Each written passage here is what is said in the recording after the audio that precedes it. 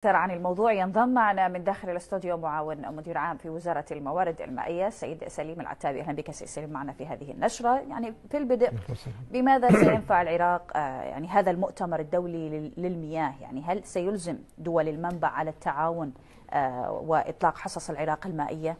بسم الله الرحمن الرحيم.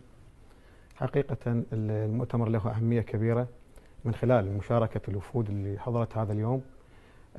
هناك جرت عدة محاور خلال هذا المؤتمر هذا اليوم.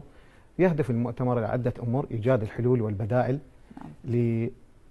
لتقليل المخاطر التغير المناخي والاحتباس الحراري. أيضا استدامة الأراضي الرطبة والأهوار من أجل التنوع المحافظة على التنوع الأحيائي. إحنا راح نقدر انه نقدر ننشر الوعي لمستخدمين المياه لدار الرشيدة لاستخدامات المياه.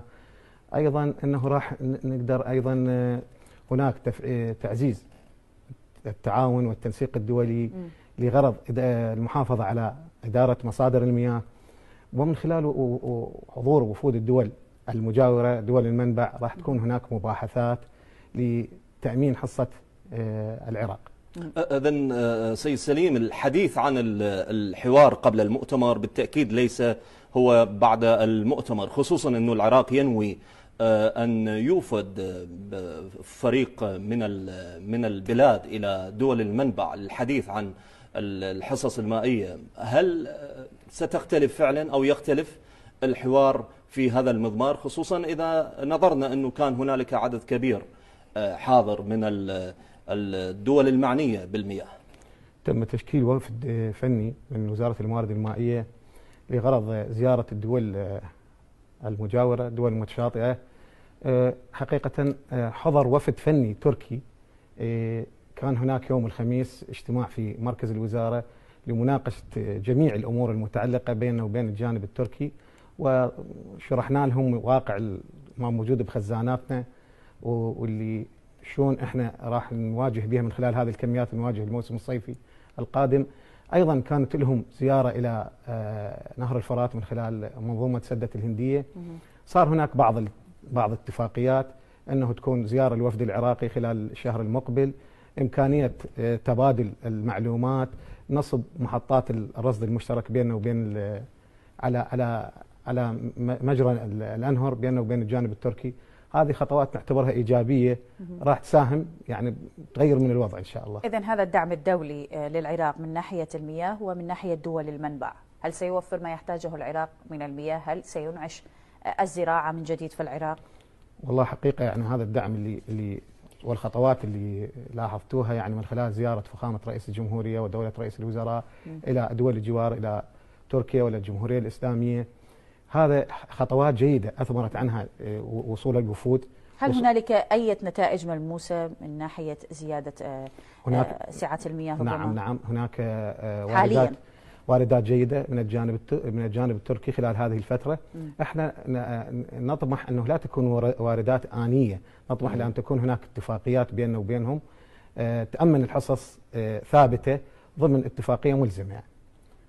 فهذه هذه أعتقد مؤشرات إيجابية للخطوات اللي اتجهتها الحكومة. طيب اذا واضح هنالك استجابة خصوصا من الجانب التركي فيما يتعلق و... بالحصص المائية وأيضا وأيضا خطوات إيجابية أيضا من الجانب الإيراني, الإيراني. أيضا. وهنا نتحدث عن الخطوات الإيجابية فيما يتعلق باستئناف عمل اللجنة العراقية الإيرانية المشتركة من جديد، هي بالأساس سيد سليم أين توقفت أعمال هذه اللجنة؟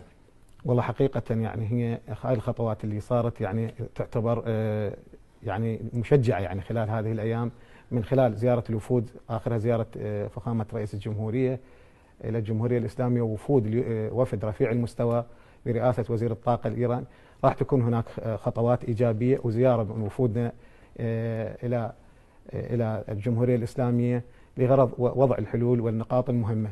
طيب إذا الآن نتحدث عن البحوث التي قدمت خلال المؤتمر. بحوث محلية هل هنالك مشاركات دولية؟ وعن أي جوانب تحدثت؟ عن جوانب محلية سيد سليم أم نتحدث أبعد من ذلك عن محاولات لتقريب وجهات النظر أيضا من خلال هذه البحوث مع الدول المتشاطئة؟ تضمنت بحوث علمية شاركت بها يعني جهات محلية وأيضا منظمات دولية.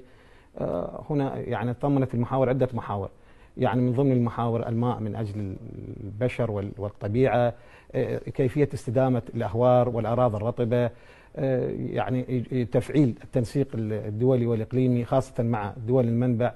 هذه أهم المحاور اللي ضمنتها هذه المحاور هذا اليوم. كنت معنا ضيفا في الاستوديو معاون مدير العام في وزارة الموارد المائية السيد سليم العتابي. شكرا جزيلا لكم. شكرا جزيلا. شكرا جزيلا.